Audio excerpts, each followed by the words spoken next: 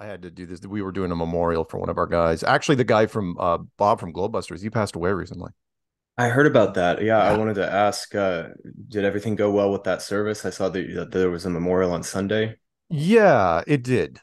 It did. And um uh it was it was it wasn't something God, I swear to God.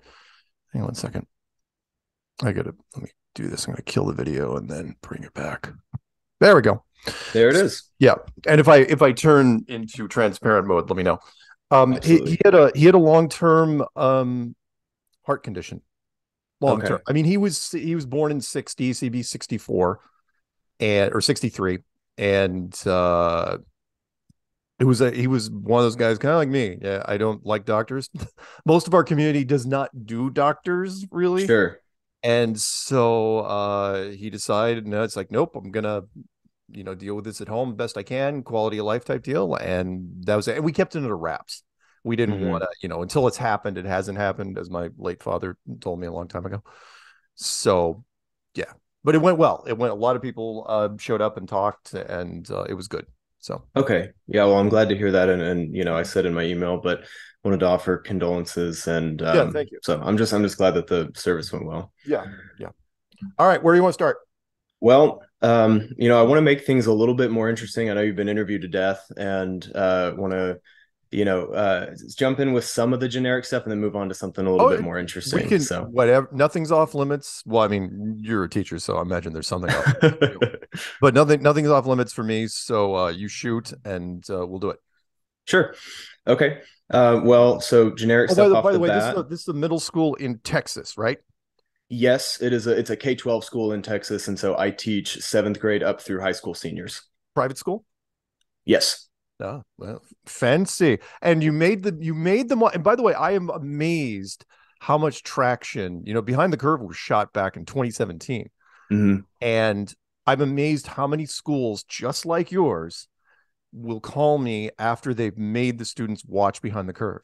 And I Mhm. told people, you know, because our community hates it. Just I, I don't know if that's one of your questions. They hate it because you know there's because there's opposing views. I'm going, look, it's okay to have opposing views.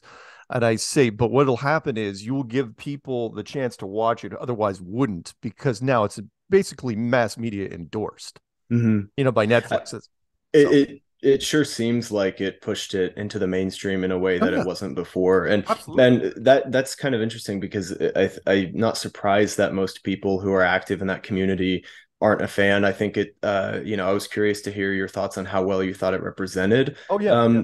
the community, but I I've seen that you've put it in your YouTube bio and things like that, kind of directing people to it. Is that mostly about just that idea of let's get it in as many people's kind of minds thinking about it as possible, or the saying is uh, well the, the saying that most people incorrectly use but but it's more popular is uh, all- uh all press is good press Mhm. But that's not that's not the original saying. The original saying is even bad press is free Mhm. which is you can't put a price tag. There's a clip i'll give you a perfect example. There's a clip i use on my on my promo on my channel where lebron james is asking kyrie irving about flat earth Mhm. right at, at a press conference at a, at a basketball thing. And people don't understand how what that took to do that. Meaning it's like i could have you know we could have solicited Le- lebron james over the course of a year and paid him five million dollars and even then he probably wouldn't have done it right and he went out and came out and talked about it for free Mhm. and recorded. It's like you can't you can't put a, a sticker on that.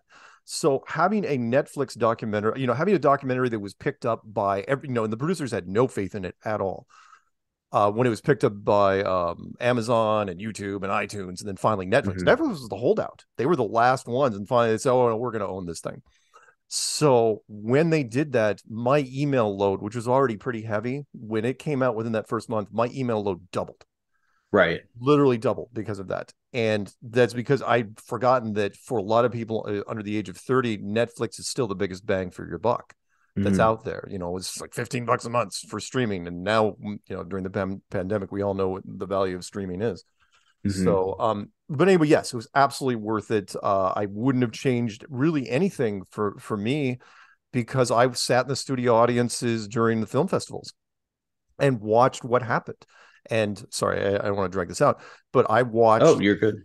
I watched the people that thought it was it was a piece of docufiction, if you know what that is. Meaning mm-hmm. they thought it was a fake movie being played seriously. Mm-hmm. So for the first 20 or 30 minutes, the people in the audience was like, oh, laughing. It's like, oh, this is pretty good, pretty dry stuff, right? And all of a sudden you could see it hit their faces like, wait, wait a minute. This is real. Mm-hmm. This is actually ha- this is on the internet. This is actually happening right now. I mean, there was a again a, a famous um, editor out of Los Angeles who was shown it absolutely with no context. Who thought who once he heard, he goes, "What do you mean that conference happened?" And he, it's like, no man, like, we were there for like three days. It's like, what? How is this even possible? And that's again, it's the it's, it was the shock value. So mm-hmm. so anyway, sorry. No, it, it makes sense though. I mean, you got to figure that a lot of people upon first viewing it, or you know, like you talked about in the documentary, first hearing the idea at all, probably yeah. think it's a practical joke of some yes. kind or something like that. That's but you see how people's response changes when they realize this is a serious issue. People yeah. actually want to have conversations about it. The yeah, people yeah, want to share their opinions about it. And even just that, even if you haven't convinced most of that audience necessarily, or right off the bat at least, you've at least gotten them speaking about it in a way that's not, oh, isn't that funny? yeah, know? yeah. It became now, now, now when it's when it's brought up with people, nobody looks at you like flat earth never heard about it. Mm-hmm. It's like, oh right, flat earth. Yeah, I've been doing this now for eight years so flatter, you know, oh no, no, the discussion's gone everywhere. We're on every platform you can think of. And uh, the irony is, is that just about every major, we've only got, in fact, I'm going to work this into my speech in October, which is most of our uh, channels barely even crack six figures. But all of the biggest YouTube channels in the world have done a flat earth video and we never had to call them. Mm-hmm. They just decided to do it after looking. It's like, oh, this is this, you know, once it started trending, everybody jumped on it. I mean, mm-hmm. this is going to be like a billion hits just in uh, in verified channels out there, and we never had to call a single one of them. They called us, which is right. you know, and uh, and our channels still don't get a lot of subs because because subs are public record, right? You can see who's sub to who. And so you didn't, you know you, oh yeah you may watch flat Earth videos you're going to sub to a channel uh, I don't know about that you know right. I don't want, I don't want my friends to know right anyway, so. well so you know the documentary was in 2017 um it's hard to think that that's been six years at this point since yeah. it since it came out um yeah. what do you feel like some of the more exciting kind of newer developments are because our conversations have all been wrapped up in what takes place in the context of preparing for that first conference most of it was yeah and that was standard documentary fare right you mm-hmm. take the mm-hmm. protagonists and you say you know it's like okay here's all these people individually let's you know get the big finale into one big area you know some adversaries who didn't show up at the mm-hmm. at the we have a hard time just getting people to uh, to oppose us publicly you know in mm-hmm. in you know in in the in our same space but the things that have changed since then mostly have been um well one celebrity endorsements you know different different people in different walks of life that have gotten into it. Law of averages says that if you if you canvas an area you're going to get this many athletes and this many actors and this many uh, you know not necessarily politicians but different different walks of life. So the the subject matter experts were were fun to see. You know people from you know branches of the armed forces lots of lots of other tests that were done uh but by the time you got to remember by the time the conference came around which was fall of 2017 we had already been doing stuff for a couple years. So you know two two years and change. So a lot of it well what we did was we did more conventions. After that we did denver and then dallas and then a whole bunch of stuff in europe and canada.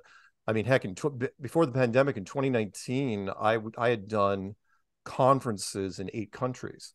Mm-hmm. that was the big thing. It wasn't necessarily the new experiments. It was the uh just the the word spreading everywhere mm-hmm. you know to, to all the different platforms. Um and then in 2020 uh you know all the borders shut down. Mm-hmm. so we had stuck. It's like oh crap. In fact we couldn't even do national conferences because we couldn't find a venue. You know this is not the crowd. So venue said well yeah you guys can come but you all have to wear masks Mm-hmm. And you know, our crowds are like, no, that's that's not gonna work.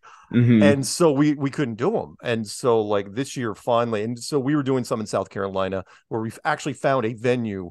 It was like a, a um, one of the Masons. It was a Shriner. It was like a Mason hall, which is weird because you think, well, the Masons isn't that part of the whole conspiracy thing? It's like, yeah, mm-hmm. well, the enemy or my enemy is my friend, maybe. So that was our the excuse we used. But um, this year will be in Vegas. Finally, that was the one that was supposed to happen in 2020. So, yeah. So were there any that happened, you know, in the last few years with the pandemic, or was it just 2020 that got canceled, or, or has well, the, the international one, the conference big, come back? The, the, big the big conference in Vegas was canceled in 2020, okay. and then we did. It was mostly an East Coast conference that was done in uh, South Carolina at that uh, the the Mason Event Center or whatever mm-hmm. it was, mm-hmm. and it actually the turnout was really good. Um, it was done by um uh, a co-host of mine on a podcast, Karen B and she did a wonderful job and she did it uh 20 21 22 and uh just i mean i went to the i went to the one in 20 didn't go to the 121 went to the 122 uh it was it was great and so and then the mandates finally got rolled back mm-hmm. so yeah we we never stopped uh the you know the numbers just kept piling up and piling up you know an app was built uh the the flat earth sun moon and i saw that yeah yeah that's just an amazing app that thing got built and so then that started you know people networking uh, which was which was fun during the pandemic. Uh, other experiments were done, but mostly the experiments, you know, the most of the stuff that that get people involved in flat Earth are just a series of like three or four different experiments that anybody can do on their own. Mm-hmm. You know, we mm-hmm. didn't. I will say this. Let, let, me, let me throw one more at you, which is um, Jeran, God bless him, you know, at the end of that movie, you know, the stinger that they, right. they did, it, remember it was supposed to be a human interest piece that's all it was supposed to be but when there was a part in the movie and we didn't even know until i listened to the um, director's commentary on it was only on itunes of all things there was a director's commentary where they were narrating and when that 12 year old kid was asking me questions on stage he was playing mm-hmm. hooky and asking me questions on stage i think he was playing hooky it might have been a saturday doesn't really matter he he was there the, all of a sudden they're going, okay, this is when we and the you know the producer and the director is like, oh no, we all we had to take a stand against flat Earth at this point. It's like, what? Why? And they never told us. Uh, and it was because, well, you know, if you're influencing kids, you know, it's all fun and games, and you know, so the kids are involved. It's like, yeah, I guess, but you know, we it's not like we were dragging them in off the street. Mm-hmm. You know, they were there voluntarily. So, um, uh but that's when that's when things changed and so but they couldn't reshoot it. The point i'm getting is they couldn't reshoot it because most of the movie was already in the can so they sure. had to do whatever they could they twist bent it as much as they could during editing. So they took a shot at bob they took a shot at Jeran they left patricia alone because everybody leaves patricia alone. Um they even took a little shot at me with the, the green button scene and even they asked me if they could mm. leave it in the film. I go yeah sure i get i see what you did there. That was a complete accident right where where i walked away from the thing and if you know anything about camera stuff they leave the camera running for an extra few seconds you know for for padding for for editing mm-hmm. and somebody said hey why don't we just cut out the part with with mark you know because we left the camera on the green button why don't we just cut out the part where mark was beating on it like a drum you know because mm-hmm. nothing worked in the freaking nasa place it was like we, i was hitting it's like was anything working on this thing mm-hmm. and all and if you cut that part out it makes me look like i never hit it right because all you see all we see is the screen you know right. being tapped as opposed to the button. Yeah and, and i of course i was an idiot to even think in my wildest dreams that they would have touch touch screen screen technology there. But that was my second choice. I mean you couldn't miss it. It was one button uh, mm-hmm. next to the seat. They literally could not miss it and it was not working. But but so, i told but i told him to leave it in because it was a it got a good laugh. Right so sure, why not? I've I've told people I go look, you could you could tie me in a chair and throw pies at me for an afternoon as long as I could actually get my you know the the flat Earth stuff out there. You can do it. I don't care. You know, mm-hmm. it's I, and I've you know metaphorically done that in some interviews where they and we had you know kind of a preliminary conversation leading into the documentary where i had seen it before but it had been a little while since i'd watched it before showing it to my classes and i i was testing my memory sort of to see how well do I think it balances showcasing, you know, the humanity of all those involved, whether it's people from the flat earth community or the scientific community or whoever, um, with, you know, does it communicate an agenda or does it remain kind of neutral? And I, I, and so I was sort of testing my memory by rewatching it in advance of the class. And that was what I was curious to get my students' perspective on was, you know, how do you think uh, how do you think it represented the scientific community versus the flat earth community? Um, do you think it was because this is a different question neutral balanced? I think those are different concepts. I, I don't think i would argue it was neutral.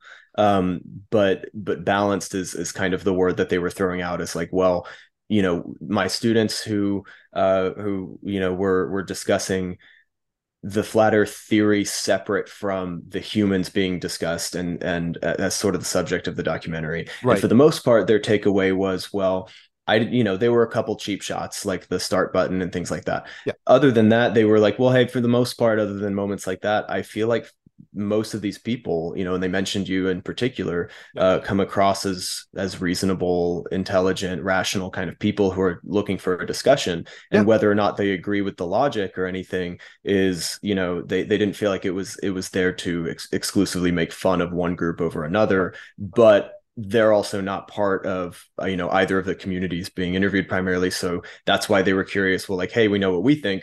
What does he think about this? What does he right. think about how it how he was represented? Oh no no no. I thought i well one i thought it was balanced and i know why they would do it you know why they would do it like that. I mean again it was blind luck that we would that they skewed it as much as they did in editing but because when i sat with the audiences and listened to it i felt you know there was two things. One you know the producers and the direct director and, and everybody else had nothing to do with flat earth at all. Mm-hmm. absolutely and still to this day do not. And that worked in their favor because when the film was done and they were on stage you know sitting ready to ask answer questions the first question almost invariably was are you guys flat earthers? Because they wanted to know if this was a propaganda piece. And it's like, well, if you're flat earthers, you're going to obviously, you know, spin it in a certain light. But at the same time, it was because it absolutely was not a propaganda piece. I treated it kind of like the the flat earth drug, which mm-hmm. was uh it was, you know, it wasn't pure uncut flat earth right? And I could see the anxiety rise and fall in the audience almost mm-hmm. in real time, where it's like, okay, there's earth, there's earth, okay, there's a scientist, scientist, okay, we're, we're okay, flat earth, hey, oh, there, there's a psychiatrist, we're fine, we're absolutely right. fine. It's like a built-in reality check or something. Yeah, it is. I mean, you're just mm-hmm. going up and down and up and down. By the time the 100 minutes are done, I mean, most people didn't even know what Jeran had done wrong by the time mm-hmm. they, they got to the end of that film. And it was it was kind of cool to see because again, would I, you know, if I, I asked the community, what would you have changed? Well, I would have pulled out the astronaut, I would have pulled out the scientist and all this. Like I go, once you do that, you know, there is no hero's journey. You know, mm-hmm. there is no rise and fall. You have to give it some sort of balance. Mm-hmm. And even the even the title, behind the curve, right? Which is which is a little dig, you know, it's a little dig. Oh, they're behind the curve, right? It even even though you know it's it's meant to be, you know, all, you know, the kind of, it's a dual reference, right? You know, behind the curve, but also behind, you know, the bell curve.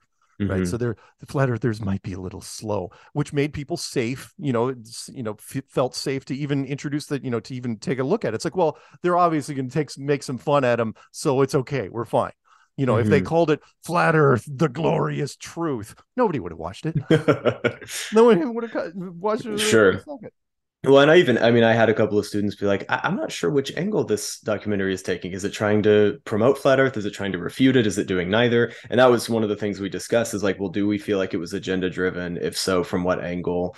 Um, but it you was, know, I it, think, oh, go ahead. I, I think the the thing that uh, stuck out to me in their takeaways from the documentary was some of the people who when i first asked you know we were looking not at one individual conspiracy theory as our only topic it just so happened that flat earth was one of the more interesting kind of uh, case studies of what we were calling the conspiracy mindset sure. and so looking at that conspiracy mindset how it can apply to different conspiracy theories um, of varying degrees of validity sure. uh, you know do we what do we think are motivating factors that might lead people to these ideas? And you know i had a couple who were like well they're probably dumb you know something like that. And i was like well let's challenge that a little bit. Like let's let's yeah. get let's what, y'all are smarter than that. are dumb? Well and and so that's what i said is like you know y'all are smarter than that. We're going to have a more in-depth conversation here where we're going to look at um what are factors outside of intelligence because i think when you watch the documentary you're not going to see a bunch of idiots versus a bunch of geniuses clashing over the shape of the earth you're going right. to see a variety of people of different levels of education but for the most part fairly educated fairly intelligent with the right intentions approaching it from different angles and yeah. so that was kind of where from an outsider perspective not being involved with the movement and not being in the scientific community um, you know teaching courses on on uh, social science as opposed to you know the hard sciences like from an outsider perspective it felt like it wasn't communicating these are the idiots and these are the smart ones and let's watch them kind of bicker right. uh, it felt like it was deeper than that and th- so those are the sorts of conversations we were trying to have where it was like well I think there's a lot of factors that play into people being more or less likely to being drawn into certain conspiracies and conspiracy theories. Um, and I don't think that being dumb is chief among them, or even really one that's a no, common factor. No, I've met some amazing people that um, that that are into conspiracies, but mo- the most of the people that I've run into to get into it, it, it how to describe it simply, it's a rabbit hole with a slippery slope, mm-hmm. or rabbit holes you know, because you fall in once you start getting into them, it's kind of like the Matrixy thing, you know. God, that movie's so old now. Where where once you I don't know in, if my students would even know that one anymore. No, yeah, the Matrix, the Matrix kids from 1999. oh my god. Um, yeah, the red pill, blue pill thing, which is once you get past a certain point, once you lose the trust of the powers that be, where, mm-hmm. whoever you want to call it, the authority of your day, be it a government or you know an education system or whatever, once you lose that trust, it is very very tough to to get back. Mm-hmm. And so the I mean, eh, but but that same token, if you have, especially with the flat Earth stuff, if you have a master's degree, bachelor's degrees, we have a lot of people with bachelor's degrees in our community, mm-hmm. and some with masters almost none with PhDs though. So if you have a master's mm-hmm. degree in a physical science, really in anything physical i don't care if it's geology hydrology biology whatever it is flat earth you're never you've spent too much time you you you've mm-hmm. been in too long phds gone I, I, I know very very few phds and, and in fact no phds on our team that would go public mm-hmm. because you know the scariest thing from uh you know from the high you know the high level educators the scariest word ever is ostracized right mm-hmm. you get your peer group you get published you know your papers one or two and then that's all you want you want to stay in that circle and you never ever want to leave it and uh and so it's, it's tough for even us for, for us to get debates which is why sure. you didn't see a debate in that particular um documentary we've sure. had debates since then but it's really it's like pulling teeth trying to get people to debate us so it's it, it ties into something i was interested in uh that you said in the documentary we watched was there's not scientists in the flat earth community because they can't be for sort of the same reason you just gave. It's at a certain level of education particularly in the physical sciences it's it's a level of indoctrination was the argument. Yeah. and uh but what, what i thought was interesting that almost balanced it out and i'd like to get your thoughts on is several of the people, including Bob, maybe chief among them in the the documentary, uh, approach it from rather, you know, there's some people who approach it from a religious standpoint primarily or spiritual. Right. Uh, Bob and Jeran and others seem to approach it from a scientific standpoint. Let's test. Let's let's see what's observable. Let's see what's measurable, and scientifically prove that there's no curvature, no rotation, that sort of thing. Right. Um, is the difference there just the level of education and how you know how many years have they spent in a system that could sway their opinion or is it the approach itself if that makes sense it's i wouldn't say necessarily well i mean education has something to do with it but it, but for them it's more curiosity uh hmm. because mm. people are people are funny people are lazy and the and because of that it get what's what's the old human question which is what is the uh, human being's most common state? Uh, is it fear or laziness? Mm-hmm. it's tough one. I think it's laziness honestly because you know everyone you know we're mammals. Like, we'd mm-hmm. love to just lie down all day and lots of people do.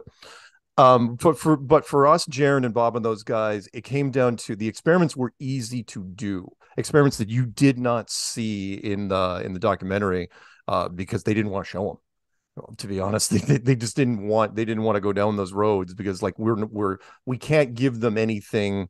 You know, we're not we're not they they tried to leave the nuts and the bolts out of it, with the exception of Jeran's experiment at the end, which he just butchered. By the way, I got to throw in Jeran's experiment at the end, which was because you know it was it was the stinger they they put at the end but then mm-hmm. i didn't know until months later that uh when Jeran you know because Jeran got a lot of hell for that at the end and because you know he invited him back twice. Once the the condenser on the laser melted and the second time you know it, it, seemed to be an issue with with elevation. But then Jeran goes out to the site during the middle of the day and i remember he was doing a, a live streaming he's going okay you know this is the first time i've actually been here during the day. It's like what you never went to the site to check it out to see if you actually had line like to see if it was actually level and to his defense he says well google earth said it was level from here to there you know, it's like I didn't know when he got down to the cul-de-sac. And it's like there's all sorts of, of level changes on the way. It's like what you know, th- which goes into the whole media thing. You've heard it many, many times. Like never do it the first time live. Mm-hmm. Never ever do it. Always do dry runs. It's like, oh, you know, the the the common producer mistake, which is, oh no, no, let's just bring the cameras, guys. We'll we'll do it live. It'll be fine. It'll absolutely be fine. And just turn into a disaster both times. So mm-hmm. anyway, sorry. When it came to, to Jeran and Bob, though, their curiosity was born. Um, well, Bob Bob was was a really intelligent man, extremely intelligent uh, guy, and his wife was really intelligent. Their son, who ended up being a professional white hat at the age of 15. Mm. It's just this, you talk about eugenics. I mean, these two had a kid, and he hacked Fortnite, like like like the time he was barely 15, and then then sent his findings to uh, Forbes and the whole thing just turned into a nightmare because they had you know lawyers had to contact his parents because he wasn't even old enough to be contacted by lawyers directly it's like that might be the most 2020 sentence I've ever heard that a 15 year old white hat hacker hacked Fortnite. yeah.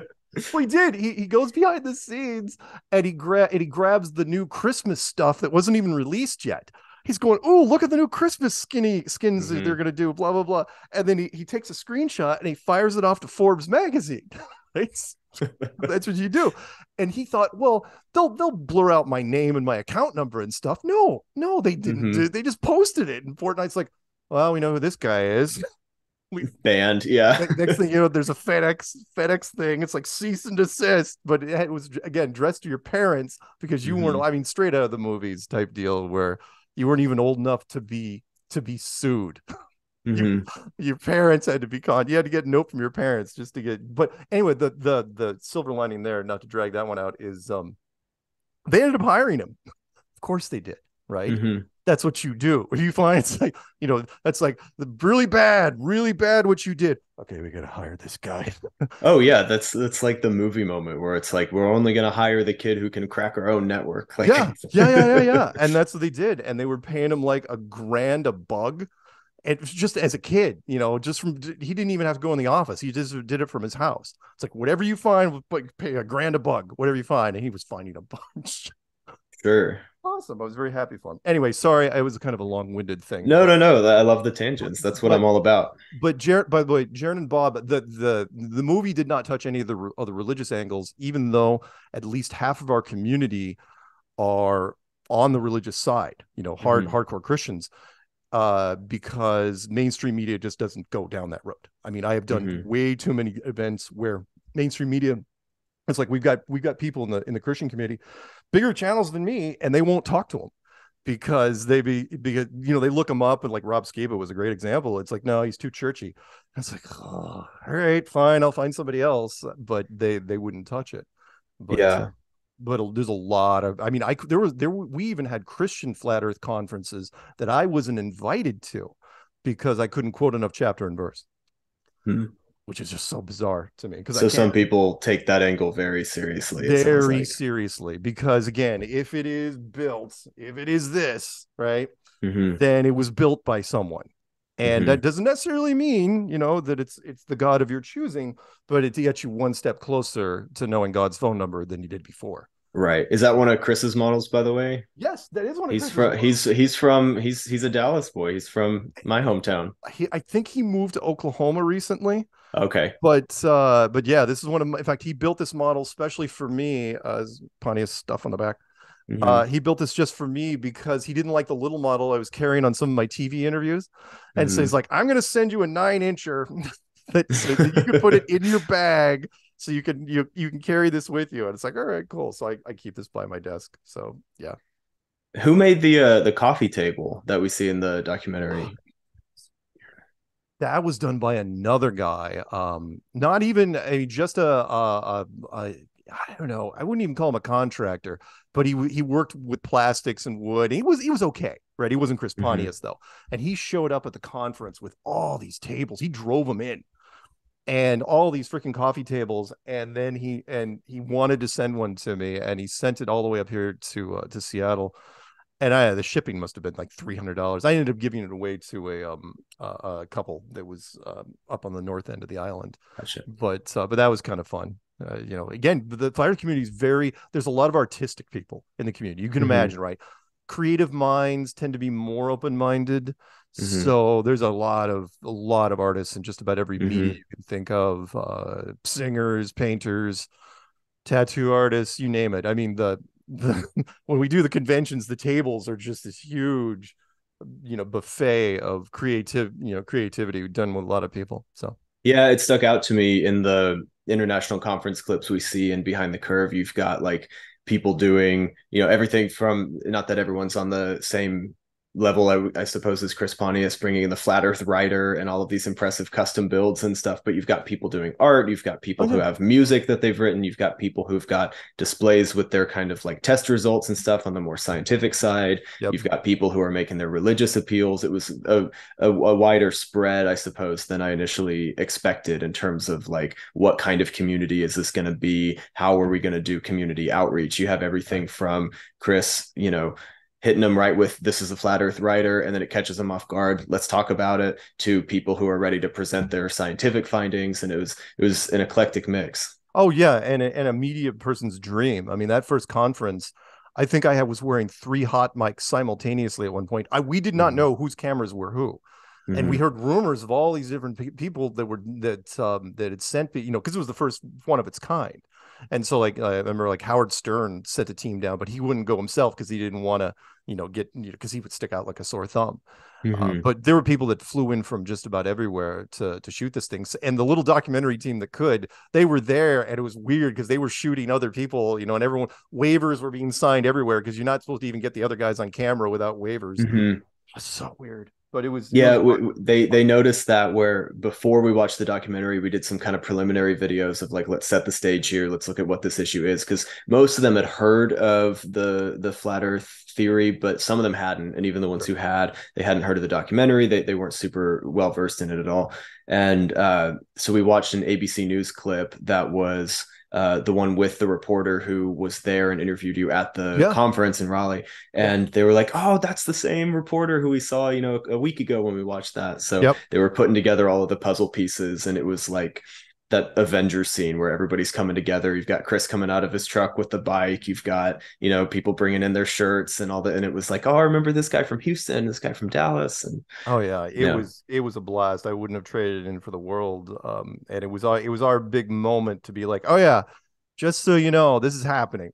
Mm-hmm. and it's not going away. And then after that, what what the, the, wave that happened after that, and I challenge anybody, all you have to do is like type in flat Earth into YouTube and sort by up like by by view count the mm-hmm. amazing number of channels. I knew we were in trouble when by that i mean it was getting outside of our control when um, somebody said uh, oh yeah by the way you're on a pewdiepie thumbnail. Mm. i go what? I go he didn't even interview us or me. It's like he he had stole he had stolen the image from a vice interview from the conference you know and he it, there was lots of people that were just because you know how it goes with media once it gets out there people cobble together things they don't even call it flat earthers they just steal from other people's flat earth clips mm-hmm. and then it just kept it became cyclical to where now there are all sorts of kids that are reacting to flat earth videos on YouTube, putting them on TikTok, and then we're taking those and compiling them and putting them back on YouTube, and it just goes round and round and round and round. It never ends. Well, once you've made it onto the gaming YouTube channels, I think you've made it. So that's the test, isn't it? yeah, I, I, I, yes. It, it, it, again, it's been a lot of fun, but uh, I can't wait to see where it goes from here. Yeah, absolutely. And, and you've had so th- there's a term that some of my students threw out of uh, main character syndrome that they were ascribing to a lot of people in the documentary of like, isn't it appealing to kind of be the focus of attention on something?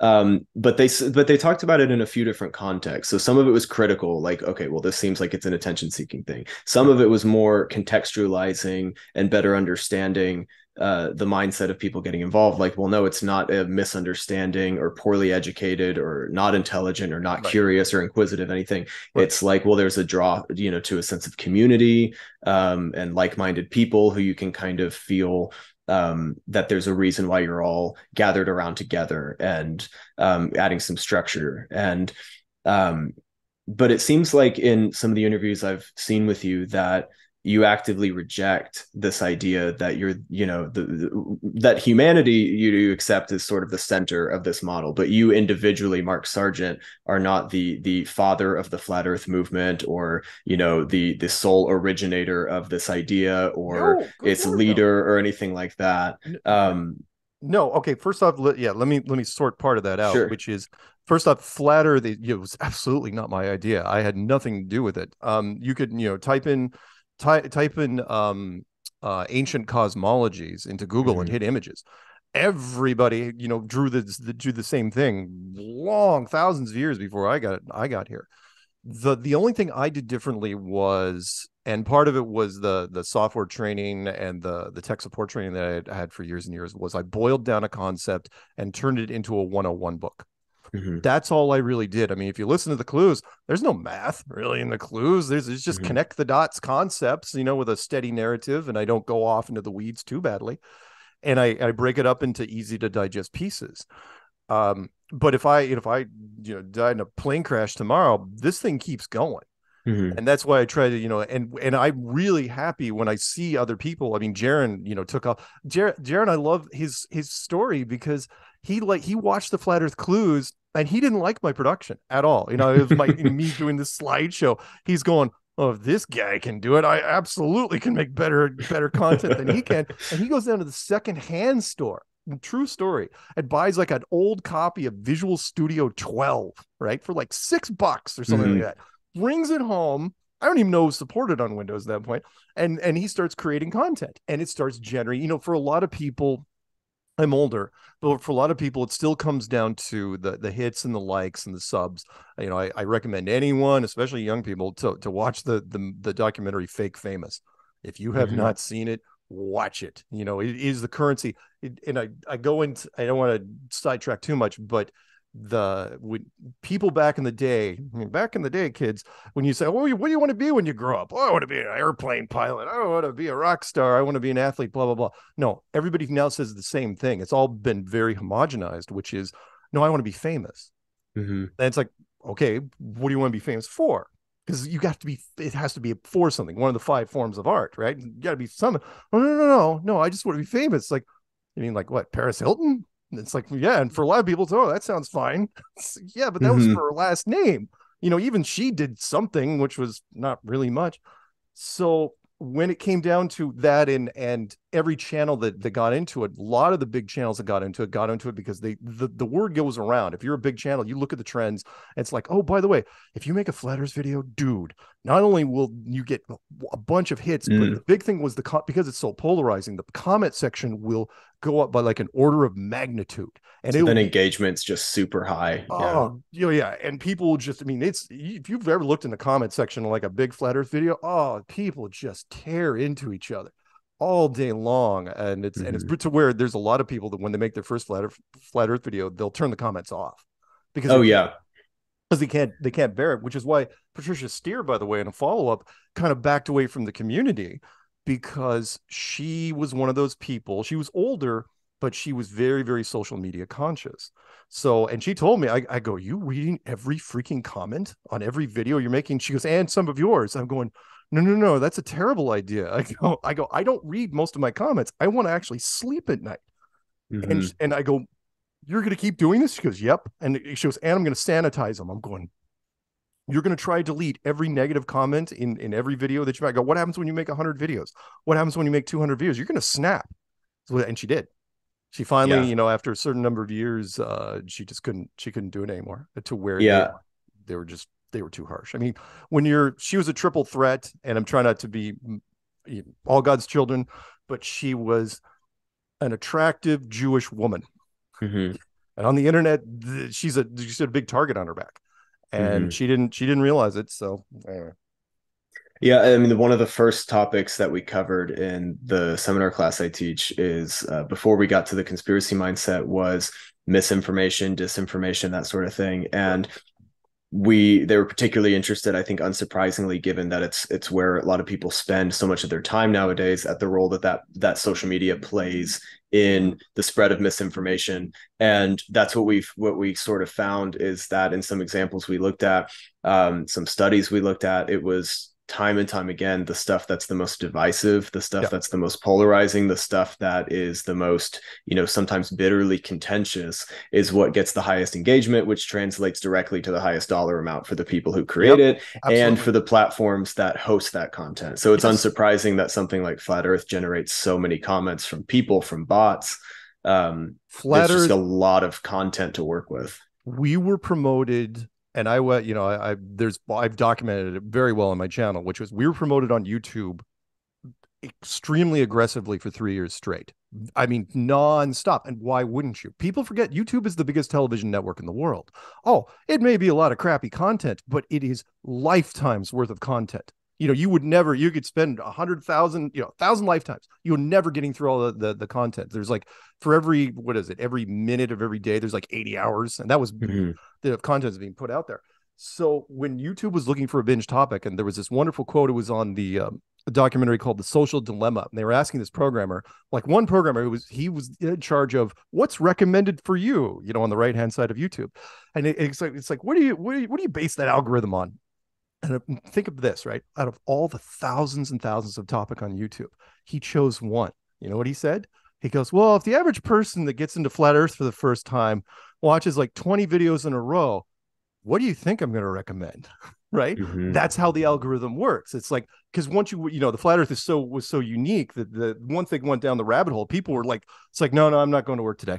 You know, it's like they were just punching through these videos, and that's what YouTube wants to see. YouTube doesn't have a licensed binge worthy you know thing like netflix and hulu mm-hmm. and, and, hbo max they have to go off certain things and we became their binge topic to where at one point they had to take their own foot off the gas mm-hmm. because congress got involved you know there's mm-hmm. this or the senate where they had that wonderful thing where youtube was like so we're going to ban these and we're going to recommend flat earth less the head of google you know is, is saying this i'm going what i'm watching this on live television going that can't be good. And that's when the monetization just went, mm-hmm.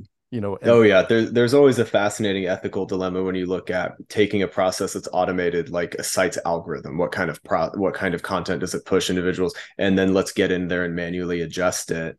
Right. Um, so you know, when do you manually adjust it? If you ever do, to what extent do you? So yeah, it's fascinating. Yeah. Um, I want to come back real quick to the uh, that that main character syndrome idea and and seeing it in a, in a few different lights.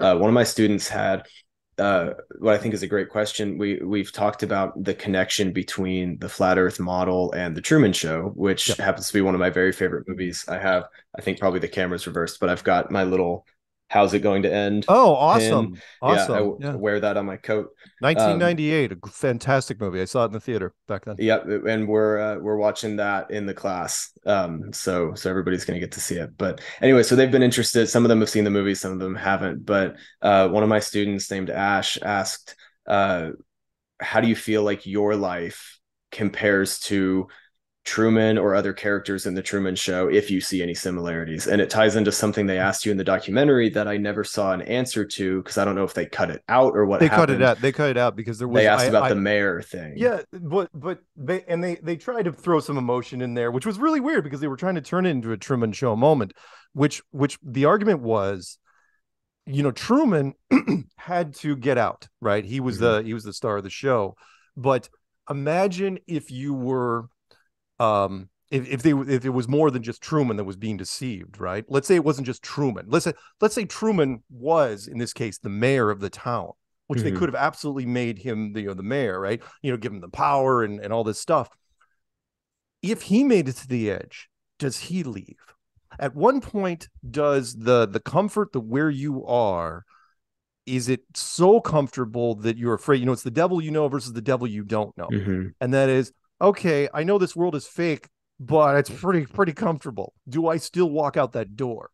And there there really wasn't an answer there. I was, I was asking basically the audience, what would you do if, mm-hmm. if that was the case? Is there a, is there a point where Truman is gets you know which really the the Truman Show there was some flaws in it in the in the writing, which was you know if I and of course you know truth is they he never would have figured it out ever ever mm-hmm. in a mm-hmm. million years it was these a series of accidents but if he was in a position of power would he have left I don't know. Maybe maybe it would, maybe it wouldn't. Um, if it was me, it really that all comes down to where you you know the perspective you are in life. If I was 20, I don't know, maybe I might because I was reckless. If I was 40, I don't know, maybe. It, oh, real quick, it looks like you went uh invisible there. Oh, did again. I? Oh crap. Sorry. Yeah. No, no, no, you're fine. I hate to interrupt. Uh yeah. It, sorry. See. What that's weird. Hang on. It was being great for a little while. Uh, that's all right. We'll get it. Okay. So there we go. Um, would would I have left? Would I have left? Probably, but that's because um, uh, you know, I never got married and had kids, so the mm-hmm. leverage really wouldn't have been there for me to uh, to stay. I would have been like, you know, if I if I was in a rut, sure. Do I feel like sometimes that I am actually in a Truman Show? Yeah, yeah. I mean, when you get into flat Earth, once that moment hits you, you know, where where you believe this weighs heavier on the scale. God darn it, my face. Well, where this is actually weighs sure. heavier on the scale than the um uh than the solar system model then yeah you do feel like like you're in some sort of soundstage and i've said a bunch of times which is you know i i i, I talk there's some things they, they wouldn't let me talk about in god darn it all right i'm gonna, I'm gonna have to lean more towards the camera on this one all right let's just do you know what we'll zoom in how about this uh, one sec by the way i've got about 30 more minutes is that okay oh perfect yeah okay no worries um let me look. Hang on. Logitech. I'm going to zoom in my camera. Logitech camera settings. You'll see me zoom in for a sec. Ready? Bap. There we go. There that we should, go. That that should help. Uh, hoping. Good um, for now, at least. So, what was what was the um the question well so so the, the thing that i was interested in is the, the the i think it's the director of the documentary kind of flips it around and says well wouldn't you say that you're in a sense the mayor of flat earth oh yeah yeah no, and analogy? I, I, and we don't see an answer. And i was no, curious no, no. about and, what that and was. and that's because i and and a lot of people you know first off you know people said because i wore the i am mark sargent shirt there's got to be an ego thing there. No that oh, is sure. a that is a rip off from the 1999 movie uh, fight club which is somebody came up with it for me, which was uh, uh, when Robert Paulson died, was played by Meatloaf. Uh, it was like you know he didn't have a name, and and it's like when they found out his name, it's like his name is Robert Paulson. His name is if you remember that movie, and then it was like we're all Robert Paulson, and so it's like you know at one people kept trying to push me into a leadership role, like an ultimate leadership role. I'm going no no no, we're not doing that David Koresh type thing. That's not going to happen with me uh, you know, I I I have said and and I changed since the documentary was I'm the freshman recruiter. If Flat Earth is a university, I am the one-on-one book. I am the recruiter that shows you around the campus and walks you around. It's like, yeah, yeah, we do experiments over there, and that's where we slam NAS over there. That's our music department. That's our art department. blah blah blah. Have fun, kids, right? And then you never see me again, right? Until mm-hmm. you see another class walking around with me. And and it's true because again, if you have to use a movie reference movie from uh, from um, Blow. if if you get into flat Earth, there's an eighty percent chance. I just making up this number that uh, you ran into my stuff 1st mm-hmm. or you, because you because you, because mine was the introductory stuff. So no, as far as me being the mayor of flat Earth, no. And in the documentary, they actually put it in the corners like, "Oh, king of flat Earth," and I think they did that to piss off Matt Boylan the yeah the, the, very loud guy in there who wanted to be flat earth he he and that all that story was absolutely true which was he was just this aloof artist from canada that so wanted and and he was like no no i'll talk to the media when i'm good and ready. It's like who are you prince? Yeah. it's like no you know no media. And then and then what happened was people were talking you know people i i was the go-between and people said well do you want to be interviewed by flat it's like yeah sure why not? And after a while once people don't understand that producers are really lazy. The interns are very, very lazy. So it's like, hey, we need to interview somebody about flat earth. They type in if they can't, if they whoever the first person they find in the first 10 minutes, and they and I heard this over and over. It's like, oh yeah, I listened to like like a snippet of your interview from blah blah blah, and that's why I'm talking to you. And and then Matt's like, why isn't anybody talking to me? And by the mm-hmm. time mm-hmm. he got around to putting himself out there, it was over. Uh, mm-hmm. you know, people we were we the our bus had already you know started heading down the road, and there was nothing you could do. So well, we no, did our best. Not, sorry, go ahead. No, I was just going to say we did our best in all of our conversations to like first rule of our class is every conversation is a discussion, not a debate, and we keep things respectful and we show each other empathy and kindness, all of that there was a lot of comparisons of Matt's clips in the documentary to the new Batman movie and the Riddler videos that he makes calling on his, his supporters. There somebody said one of my students sent me a message on our on Microsoft Teams and was like, uh, go to this, go to 129 in this clip. And it was almost shot for shot one of Matt's videos where he picks up the camera and uh, he's saying, you know, I let you call me crazy, I let you call me delusional. And so we had a we did have a fun time kind of Matt, uh, by the way, is absolutely amazing on camera and I, I lost count of how many producers tried you know tried to track him down through me. Mm-hmm. it's like you can get a hold of matt and there I, will give you a quick story um which was there was a early on true television a true television producer that that back in 2015 she absolutely knew where this is going. She was absolutely ahead of this thing. And she she asked me at one point it's like oh so how how can i you know do you have matt boylan's phone, phone number? And i go yeah but you you you're not going to want to make that call and, mm-hmm. and, she goes, no, no, no, I can handle them. Like I'm a, I'm a veteran producer. She was like in her twenties. I'm, I'm a veteran producer. I can do this. I'm like, okay, let's see how this goes. And I sent her the number. The next day she calls me back and I get this. It's like, so why didn't you warn me? you tried. tried. you weren't having it. There's some lessons that have to be lived. They cannot be taught. And yeah. she goes, she goes, he was amazingly just so out there that uh, she, she was like trying to create a reality show where like most of the team was going to be doing their things and he was going to be basically on his own somewhere mm-hmm. else because she goes he does not play well with others i go no anyway so she made this big pitch reel to the new york group in, in true television and you can imagine, right? This is 2015. Not many people knew what the heck was going to flat Earth. And you can imagine the big long table. What do you got, Rebecca? Rebecca's like, I'll show you what I got. Flat Earth. Mm-hmm you know, cut to black, lights go up.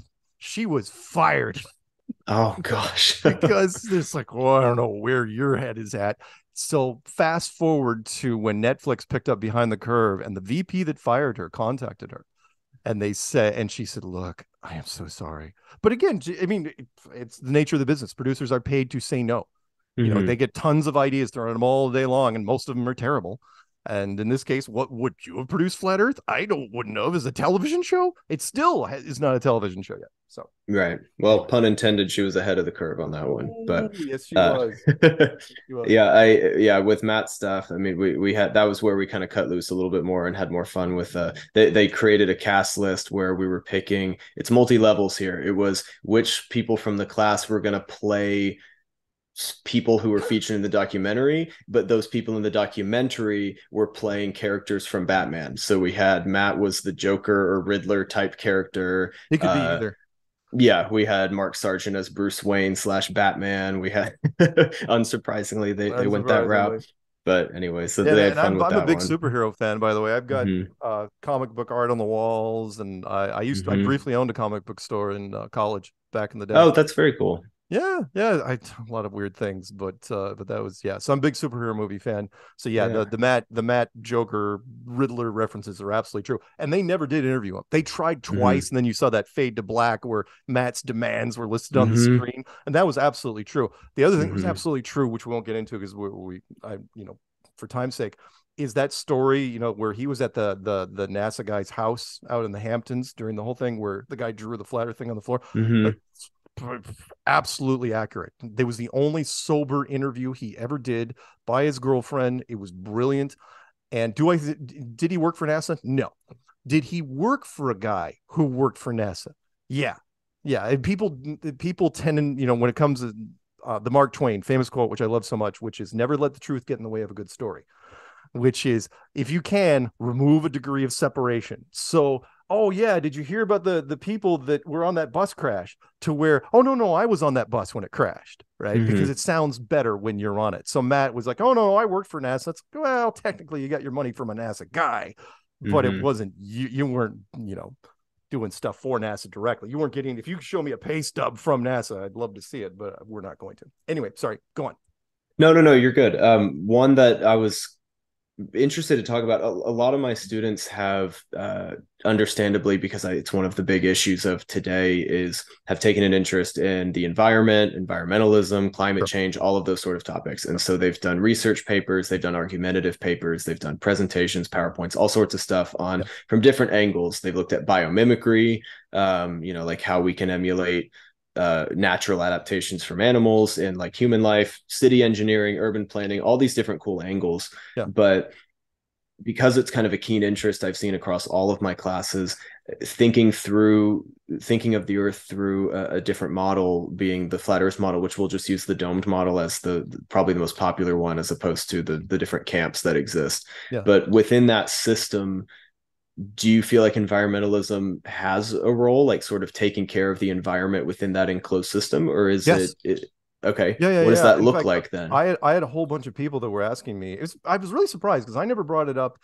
and we don't. A lot of people in our community don't bring it up, and mostly it's about climate change, mm-hmm. which was does climate change work in a flat Earth model? I go, well, yeah, if it's a snow globe.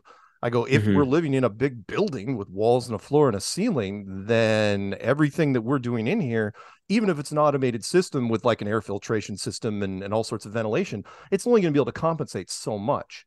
Uh, mm-hmm. no different than uh, if you bring in like a if you have a car, if you're sitting in a car and you the air conditioning running, and somebody brings in a propane lantern and puts it in the back, right? Well, that's going to change the dynamics of what's going on in that car. And then put two lanterns, and then put three. Pretty soon, doesn't matter how car that's you know hard that thing is working. There's going to be weird hot spots and cold spots and all the other stuff.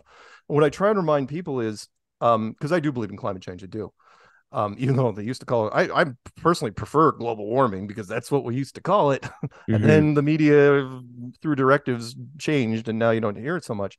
Which is if there are roughly, let's just round to any sort of number, like 700 million internal combustion engines running at any given point you know during the day you know during a 24 hour period that's a huge i mean people forget the, the engine in your car is just a furnace that's all it is. It's it's a furnace that's hooked up some gears, right? It could if you hook up that same engine to your house, you could heat your house very easily uh, mm-hmm. uh, with that thing. And uh, ah, I zip, I disappeared for a second there again. Um, damn human technology. we try to blend in on this planet. Yeah. Well, we're gonna work with it. Let's see. Yeah, it's it looks like in and out a little bit. Uh, you know, what's weird because I've got a green screen right behind me. But okay, anyway, sorry. Um, what what other questions you got? So um another one of my students, I'm trying to give some shout outs when I can. So Colby was curious about what implications you suppose that a broad acceptance of the flat earth model would have on the lives of everyday citizens. Well, that's one of the oh Okay, you guys are gonna have to deal with my my uh, hidden head for now. That's Sorry all right. That. That'll work. Well, audio is what's important here. I do not know why. It's like I look what happens when I turn that off. Oh yeah, it's doing an effect on the side. Yeah, I turn off that light and you can see the green screen. Bet you if I do it over here, yep, it's, it's even worse. Whatever. We had, okay. we had one eyeball for a second. yeah, you guys are gonna have to. I'm really here. I'm not on a spaceship. Swear to God, probably You guys fix that? We're gonna have conspiracy theories develop. Yeah, I know. There's gonna be conspiracy theories. This, this actually happened during the memorial I was at, and people in oh, chat yeah. were going, "What's happening with Mark's head?" You know, you don't want to do this this many times, like in front of the conspiracy crowd. Mm-hmm. Uh, okay, so what would it do if it would it change people's lives? It's like, why keep this a secret? So if this, if we found out uh, in 1960, if our we're basically talking about a secret that uh, even our best and brightest didn't figure out till 1960, which was because we didn't have the tech to, to do it. So if you don't figure it out until not, uh, 1960, uh, what this world, what if I do that? You know what? We're gonna do that. Maybe if I hold my hand there. I swear to God. Okay, so if if you don't figure out until 1960, your best and brightest don't figure it out. Uh, what you know, the Illuminati meeting, what happens? Right? It's like, yeah, somebody, you know, it's like, well, okay, it's a three pronged thing. First off, would be um, education everything you mentioned earlier everything with enology you know biology geology hydrology archaeology everything with enology would have to be retooled. Libraries would have to be emptied and it would be chaos right? Not to mention astrology astrology astronomy and astrophysics would be decimated right? The and who knows when those things would return. And that's every university in every country. That is an academic apocalypse right? Then you've got the, the world markets that have to be suspended basically indefinitely even though it's a stock market, and I don't think it'd be that much of a loss personally. You suspend it because you don't know what the markets would mean. You know what would what would happen to those markets. But the big one would be uh, the religious side, which was you're mm. handing mm. the the five major religious houses of the world: um, Hinduism, Buddhism, uh, Judaism, Islam, and Christianity, and all the variants thereof. Um, ammunition against science. Mm leverage against science you're asking them to hold restraint even though science has been beating them over the head with textbooks for the last uh, what five centuries at least Mm. Uh, it's not going to happen. I mean, science would be hard, hard pressed to to recover from that. And by that, I mean I'm trying, making an attempt here to whatever. I'm going to have to do this from a different browser because I got another podcast after this. um, which is the you know the the religious all those religious houses would go. It's like okay, so you were wrong about something really important. It's like what you know what? Let's revisit some stuff like I don't know carbon dating and evolution and the Big mm. Bang and dark matter. I don't know and everything in between and it would be it would be i don't know if science could recover so you rattle off those three things you know illuminati meet it's like what's the worst that could happen and then somebody like me chimes in it's like well that and then the guy at the end who's always smoking for some reason he goes so yeah we're we're not going to be touching this for a while. We're going to put a pin in this and mm-hmm. that was mm-hmm. it and that's it. We then and they don't touch it. Because remember if you don't figure out and the big reason is if you don't figure it out till 1960 civilization is already built. All the systems are in place the the infrastructure is set up uh, everything's kind of where you want it. And people in um that's so weird. I'm trying to figure this out. People in power do not like taking risks like that. They don't take chances. Mm-hmm. so that's that's my answer Okay, no, it's a you, good you answer. And, why? Why would you? In fact, I, I will I'll drop a name. I mentioned that that that was a question that um, Piers Morgan asked me, and mm. I, I was waiting for that question. I, I asked him, I go, so tell me, you'd break that story? Really? Would you? Knowing that people might actually, there's a chance that people might run through the streets with pitchforks and torches and just start burning things down. You're really going to do that? I go, look, the, the, the, there's a reason why the Purge, the movie, the, the Purge was never going to happen in real life. It's the insurance companies. Mm-hmm. They're not going to let that happen, you know, because people would just start turning, you know, setting buildings on fire. Sure. Yeah, and and so that was kind of like you covered it, but the lead in after how it would it affect the everyday citizen is what about world cultures? What about political systems, economic systems, and you know, obviously that stuff that we we talk about in in classes being interconnected. Um, it would it so... would change it would change everything. You'd have two group. Let's say a giant golden spaceship landed uh, near your school, right? Two, you know, and and and be, two groups of people would show up. You'd have the nerds. Well, the military doesn't count. You know, there'd be a group. It's like we must shoot them, right? You, the people that aren't going to shoot them, the two groups. One would show up and be all the nerds being like, "Oh wow, they do look like the blue people from Avatar." you know, the and the other people would be like, "We must worship the blue people." You know, and they mm-hmm. start building churches. I mean, it would be this. You know, this you aren't the the true power unless you're the true power. Sort of like why um the Air Force is never going to admit what uh, you know what spaceships you know are flying around really are because you can't rule the skies if you don't rule the skies. Mm-hmm. You know mm-hmm. I mean, you can't just come out and say, "Oh yeah, there's some things up there, and they're way better than us." all of a sudden, mm-hmm. your military loses huge amounts of credibility, which is also tough for the the, the government to say, um, "Oh yeah, by the way, we you know, you know, we you know, we're the ultimate power, but the snow globe you're living in yeah we had nothing to do with that. So mm-hmm. and you immediately lose lose credibility as an uh, as a power. And people don't do that.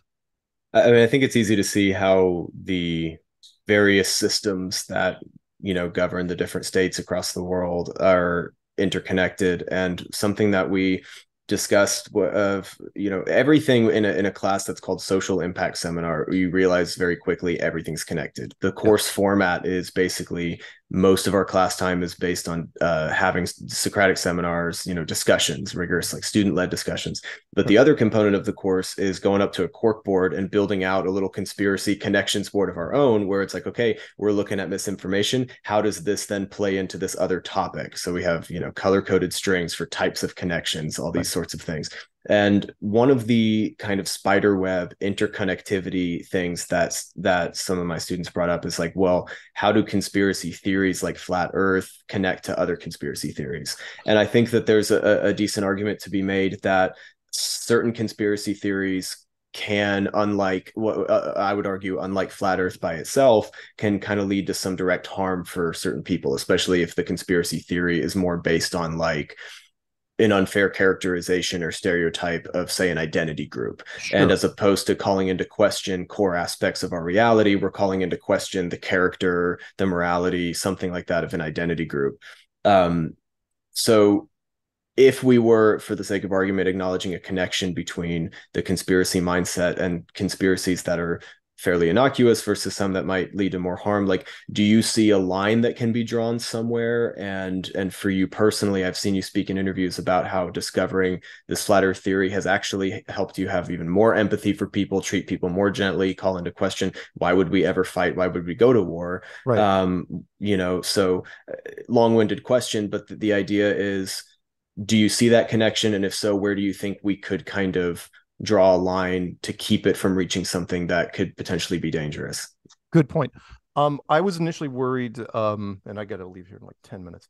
Sure um, that's fine. I, I was initially worried when i when i first threw this flat earth thing out there because i was worried that a percentage of the population was going to react badly to this, you know, to where they were going to feel claustrophobic and they might freak out and just start going on killing. Never happened, which was nice.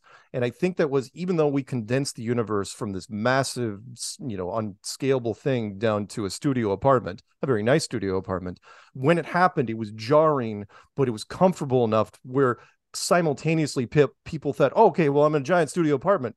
Oh, wait, that means it was made by somebody and that's somewhat comforting exactly so it's, it's sort yeah. of balanced that out which is why yeah for me um the empathy was my empathy grew by a lot and that's saying something because i was in um, high level support for a number of years and that was part of my job was was mm-hmm. empathy which was if we are here then we're all here you know in the same building and i couldn't even yell at people that weren't into flat earth because I was them. I'd, I'd have journalists try to get a rise out of me. You know, it's one of the things journalism's journalists do. And, and one guy was really, he got worked up and he goes, I'm working at you for 40 minutes in the hot sun. You're not breaking. And I said, why would I? Excuse me. Um, five years ago, I was you. So it'd be hypocritical for me to yell at you. I, uh, everybody starts out hating flat earth. Everybody does. So if we are all in one big giant building, then we are all here for a reason. It's very, very deliberate. And I'm a big believer, I always have been, that God doesn't make mistakes. It took a while for me to make that totally encompassing to where, because when you, again, if you never get married or have kids, you get to look at a lot of systems. And I looked at a lot of things analytically. It's like, okay, this fits, this fits, this is interacting with this. And by the time it was done, I was like, wow, this place is way more organized than I thought it was. And no, mm-hmm. there aren't any mistakes. Everything's there for a reason. I'm a big believer. Um, so I got to get this out there in dualism. Big believer mm-hmm. in dualism, if you know what that is, which is you cannot appreciate something without the opposite of the other. Light mm-hmm. without shadow, hot without cold, pain without pleasure, uh, order without chaos. And so everything and all and all the different spectrums, everything fits into that in, in some way or the other. And uh, is this world a, a work in progress? Yes, but this is not the first iteration, not by a long shot. So it's pretty, it works pretty, pretty well right now.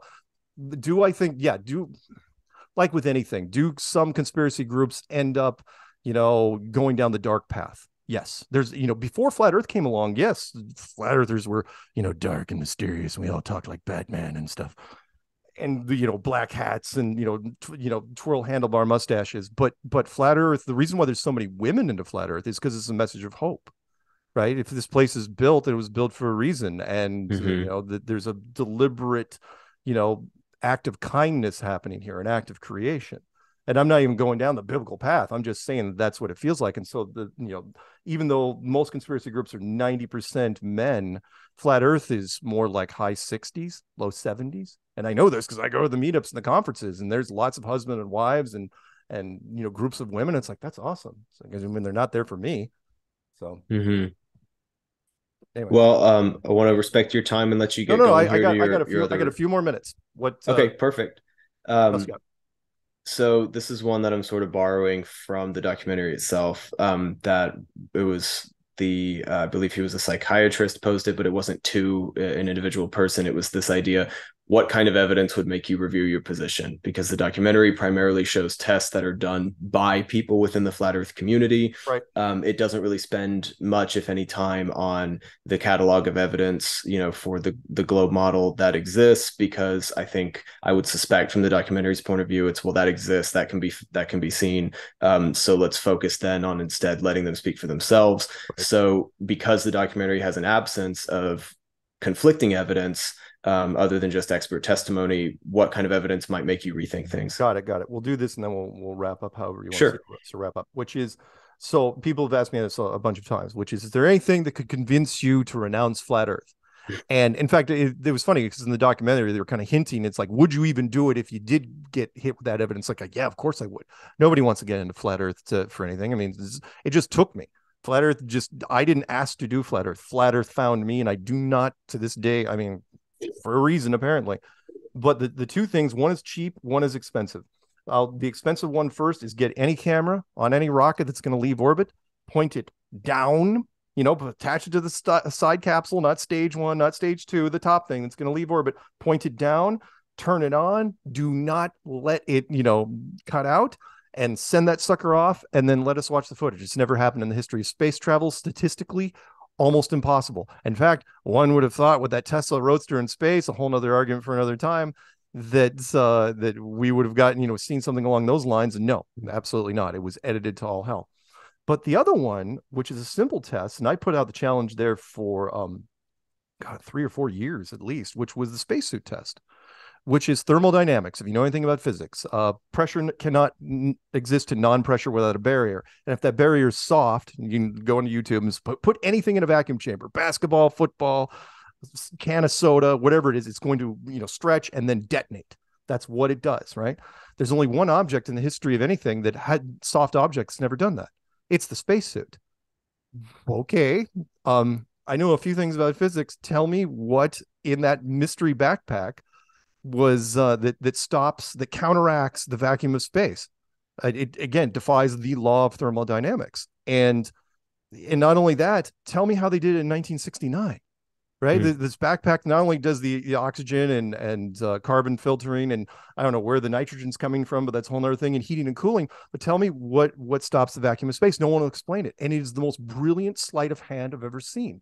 Which was up until the launch, all the the early suits were these huge plastic, bulky, and metal things, right? And they're going, this is never going to look good on camera at all. Plus, you're never going to get us, you know, how are they even going to climb anything, right? Some guy goes, dude, Nobody's in physics club. Physics clubs are tiny in schools. Math clubs are tiny. All we have to do is use a soft suit, put it on television. It'll be fine. No one will question. Even the nerds won't question it, and they didn't. It was absolutely fantastic. One one last thing I got to mention, which is when I when I address people outside of this country in America, it's like, why do you believe in the moon missions? Right? In America, uh, people, it's like wave the flag, rah rah, we're the best. You know, you have to you have to to um to do that. I swear to God, I keep phasing it out, but that's fine. Um, Dana Perino from Fox News, one of the scariest things I ever heard on television. But I, I get it, you know, conformity builds empires. Which she goes, she goes, I, she was quite, you know, she was talking about flat Earth and the moon missions, and she goes, I believe in the moon missions because I'm a patriot. And it's hmm. like, okay, so you believe in it because the government told you to believe in it, and because you were a press secretary for George Bush. Mm, I get it. Okay, it's fine.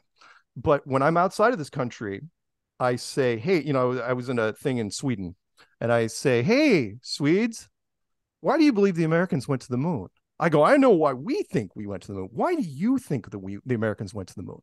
And they all say, it doesn't matter what country I'm in, they all say the same thing. It's like, well, because it was on television. And the the US news would never lie about anything. I said, Really? do you know us? Very we're Americans. We lie about everything. Yeah, the, the different approach across cultures is interesting. I hadn't thought about it like that. Yeah, and and it, seriously, it was because it was on television. And it's like the mm-hmm. Americans are totally legit. I mean, we pushed our brand out there. Sorry, last story, and then I got to go. Which is um this will this will this will kind of make sense. This is a side story, but you'll get this. Which is uh, when I was in Egypt uh, for a completely different thing, and I was at the Queen's Temple, and there was a bunch of school kids walking up to me, surrounding me. It had nothing to do with flat Earth, right? They didn't know me from Adam. And I go, um, uh, it's you know why this does it because the camera hates me. Oh. it's a personal thing, really. It's a personal thing. Seriously, I've had photographers look at their cameras. It's like, what the hell's wrong with my camera? I go, I know you took like 300 shots, can't find a good one. There are photogenic people, and then there's me. I'm like 164th vampire on my my dad's side. Pretty sure. So mirrors and cameras, they're horrible. So anyway, I was at the Queen's Temple. All these kids were walking around me, and this was before Flat Earth. I, you know, it's like, what the heck's with these kids, right? Why are they swarming me? It's like, oh, well, you're the first American that we that they've seen outside of television. And I go, and, and they go, well, you know, the new world, you know, America. It's this wonderful, wonderful place. I go, what television are you watching exactly? What do they air over here? And they go, you know, all those American programs. Dallas and Knots Landing and Falcon's Crest and all these all these wonderful shows. This was about you know these are 80s and early 90s shows. Shows about um American all these Americans living in these amazing mansions in the middle of these you know massive tracts of land. You know Americans all is are mostly millionaires, right? And I go, ah, I would explain a few things. There's some, a misunderstanding there. Russians are still rock stars to some people in the world, and they, mm-hmm. you know, mm-hmm. which is why we are the second language of the world. You have your default language of your country. Second language is almost always English. Mm-hmm. All right, I got it. one more. I have one more super quick one, if that's what right with you. so, it? do you feel like in your life that the the main agent of control is yourself or an outside force? Ooh, that's a tough one. Um, I don't know if I can do this quickly, but I'll have you. I'll, I'll have you guys look it up. Sure. Which is um, there's a there's a, okay. I think it's an outside force. Do do I think we have free will? uh, no, no, I don't. There's a wonderful wiki thing, but you can look it up. There's wonderful stories uh, called uh, neuroscience and free will fantastic experiments that were done years ago where they hooked up electrodes to people's heads and they had them watch a computer screen. They were watching a number, you know, that was that was calculated on a screen. And and they um said, okay, pick a number between one and nine and hit that key on your keyboard. And then on top of it, note even before you hit it on the keyboard, if you took any time between the time you chose it and the time you hit it on the keyboard. And most of the time it was instantaneous, right? Think of a number between one and nine, it's like four, right? It's like barely mm-hmm. even a mm-hmm. second between the time you pick it and the time you click it. What was weird was the computer, even though it didn't know what number you were going to pick, knew that you were you had already made the decision to choose that number eight seconds ago before mm. the question was even asked. And it's like so that goes into the whole predestination thing which scientists hate. It's like hey, it was your experiment. We didn't come up with it which is are we living into your question are we living in a free system or are we living in a pre-recorded scripted thing where you made all the choices ahead of time. You picked the journey ahead of time, and then you blocked the memory before you got here. Possibly. And that so do I yeah look that up if you get a chance. It's fascinating. Sure yeah. But uh, do do I think no I do I do I think we have complete free will here? No. I think we made the decisions before we got here long before we got here. In fact I'll make one more reference and then I've got to get out of here. Um sure. which is uh uh this goes into the thing. So people kids are so lazy not picking on your kids. Kids are so lazy that sometimes they don't even play their own video games. They'll watch videos of people playing video games. Happens all the time. It's like oh i'm going to watch three hours of this guy playing fortnite right? And you get neurologically you get almost the same experience from watching this depending on what screen you put it on as if you were playing it yourself. What you don't realize is is how little the resources are you are using to do that. You're just watching a little mp4 movie it's tiny just compared to Bear. This. You're not watching a real time network thing that's all this stuff happening, you know, across multiple systems. You're watching a tiny little movie. Well, who's to say that's not what you're in right now? Hmm. hmm? Well, it's a good place to leave it, I think. There you go. Anyway, well, thank you. Yes, um, no, Mark, thank you so much for taking the time to chat with me. I know my students are going to be absolutely fascinated to watch this. And, uh, you know, I, I mentioned it in the email, but you're comfortable with me uh, sharing the recording with my classes? Absolutely. Have fun okay. with it. Yep. Perfect. All right. Well, we'll do. Thank you so much. I hope you have a good time at the the next podcast and that Thank everything you. goes well. And uh, I will see you around. All right. Have a good one. You too. Thanks. Bye-bye.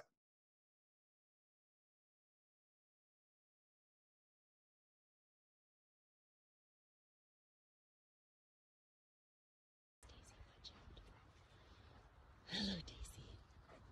Hello,